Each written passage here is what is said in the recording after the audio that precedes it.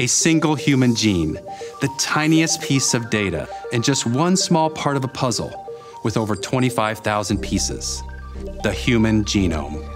After billions of dollars and years of research, we're only beginning to understand human pathology. Each layer of information that we uncover reveals another layer of mystery.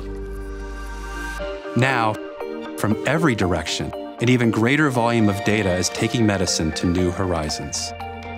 At ZS, our people are building powerful tools for generating, operationalizing, and measuring this galaxy of data, leading the way with artificial intelligence and digital technology.